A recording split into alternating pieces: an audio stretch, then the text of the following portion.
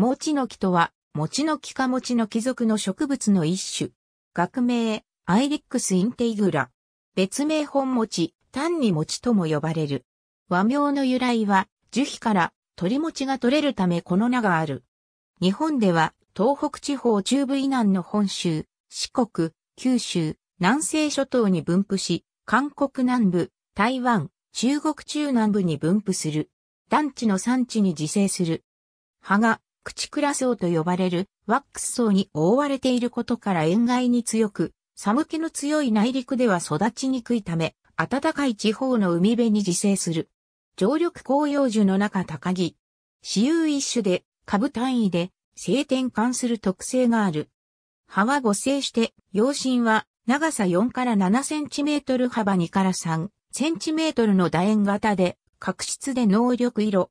葉は水分を多く含んでいる。開花期は、春で、大花、雌花ともに、直径約 8mm の黄緑色の小花が、葉の付け根に雄花は数個ずつ、雌花は1から2個ずつつける。花弁は薄い黄色でごく短い枝に束になって咲く。雄花には4本のおしべ、雌花には緑色の大きな円柱形の脂肪と退化したおしべがある。果実は直径1センチメートルほどの球形の角化で内部に種子が1個ある。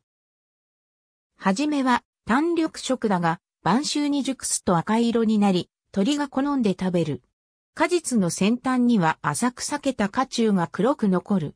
餅の木には、餅の木種オナガ小鉢という天敵が存在する。この小鉢は夏に発育中の種子の中に産卵し、幼虫となって越冬する。幼虫は実の色を操作する能力があり、秋になれば本来赤くなる実を緑のままにすることで、実が鳥に食べられる事態を避ける。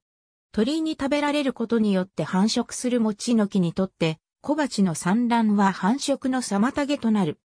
餅の木は花粉を受粉しなくても、種子を形成し、果実まで成熟することができる能力があり、調査によって未受精の種子は全体の3割に及ぶことが判明している。小鉢は受精した種子にしか産卵しない特性があり、時間と労力をかけて産卵管を挿入しても未受精の種子だった場合は産卵せずに抜いてしまう。未受精の果実は発芽しないため繁殖の役には立たないが、産卵に無駄なコストをかけさせることで小鉢の繁殖を妨害する対抗手段となっている。日向から半日陰地に土壌の質は適度な湿度を持った浄土に根を深く張る。成長は遅い方である。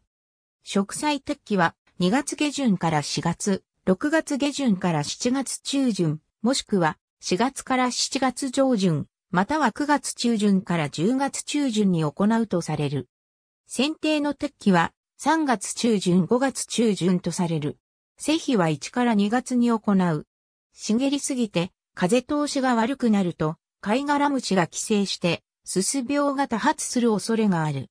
枝配りを行って、様々な形に仕立てること F ができる。樹皮から鳥餅を作ることができ、これが名前の由来ともなった。まず春から夏にかけて樹皮を採取し、目の粗い袋に入れて、秋まで流水につけておく。この間に不必要な木質は徐々に腐敗して除去され、水に不溶性の取り持ち成分だけが残る。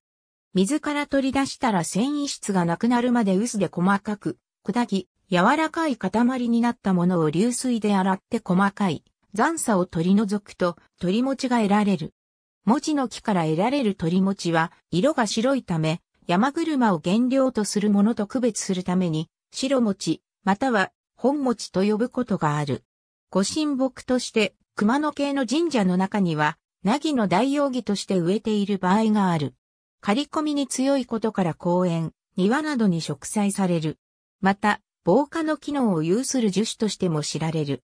日本では古くから庭に欠かせない定番の庭木として親しまれ、様々な形に仕立てることができるため玉仕立てにする。ほか、列色して目隠しにも利用してきた。潮風や大気汚染にも耐えるため、公園樹としてもよく用いられる。ありがとうございます。